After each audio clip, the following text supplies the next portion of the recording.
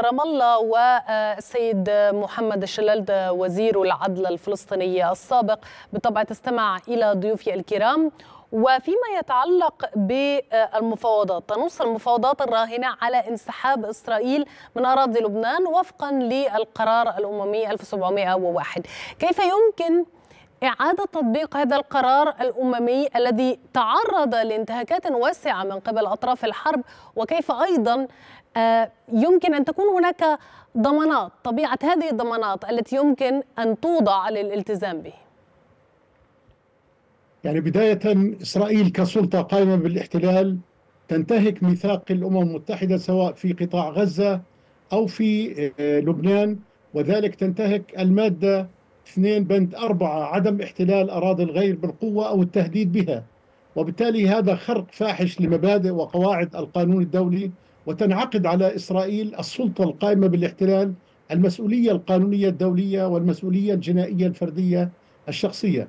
وبالتالي المطلوب من إسرائيل كسلطة قائمة بالاحتلال يوميا تقوم بقصف وتدمير وقتل المدنيين سواء في جنوب لبنان أو في قطاع غزة وهذه جريمة دولية وهذا ما تم إصدار مذكرات القبض والاعتقال بحق نتنياهو وجالنت من قبل المحكمة الجنائية الدولية. وبالتالي هذه مسؤولية تطبيق القرار 1701 وكافة قرارات الأمم المتحدة ومبادئ وقواعد القانون الدولي والقانون الدولي الإنساني تقع على عاتق مجلس الأمن الجهة التنفيذية لحفظ الأمن والسلم في العالم. لأن ما يجري في فلسطين وفي لبنان لا يهدد الأمن والسلم في هذين البلدين وإنما يهدد الأمن والسلم في العالم. وبالتالي هذه مسؤولية الأجهزة التنفيذية للأمم المتحدة وخاصة مجلس الأمن والجمعية العامة. وإسرائيل ملزمة بتطبيق واحترام ما صدر من محكمة العدل الدولية بالتدابير المؤقتة. وإسرائيل ملزمة كذلك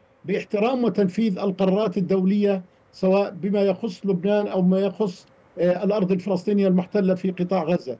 وبالتالي أقول أن بالرغم من خرق ومن ومن من موقف الولايات المتحدة الأمريكية الداعم لإسرائيل كسلطة قائمة بالاحتلال بالاستمرار في عملياتها العسكرية في غزة وفي لبنان هذا يعتبر يعني مشاركة فعلية في الاستمرار في ارتكاب جريمة الإبادة الجماعية في قطاع غزة وتنعقد على هذه الأفعال المسؤولية الدولية والمسؤولية الجنائية.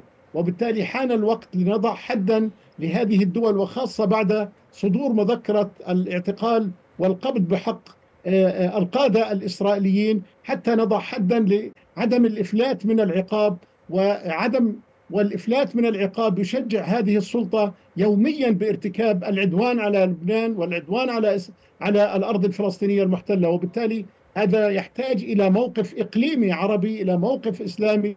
ندعو هذه الدول العربية والإسلامية إلى الانضمام والتصديق على النظام الأساسي للمحكمة الجنائية الدولية لأن هناك فقط خمس دول عربية مصادقة ومنضمة. وثانيا ندعو هذه الدول العربية والإسلامية إلى الانضمام إلى الدعوة التي رفعتها دولة جنوب أفريقيا حتى يتم خلق جو قانوني مؤثر على المحكمة الجنائية ومحكمة العدل الدولية. وثالثا لا بد من استمرار هذه الجرائم والانتهاكات بدعوة الجمعية العامة للأمم المتحدة بوصم هذه الدولة بدولة الفصل العنصري الأبرتايد لغايات فرض عقوبات عليها عقوبات اقتصادية دبلوماسية سياسية وبالتالي بدون فرض العقوبات والقانون الدولي بدون جزاء وعقاب يبقى حبرا على ورق بدون أي فائدة قانونية.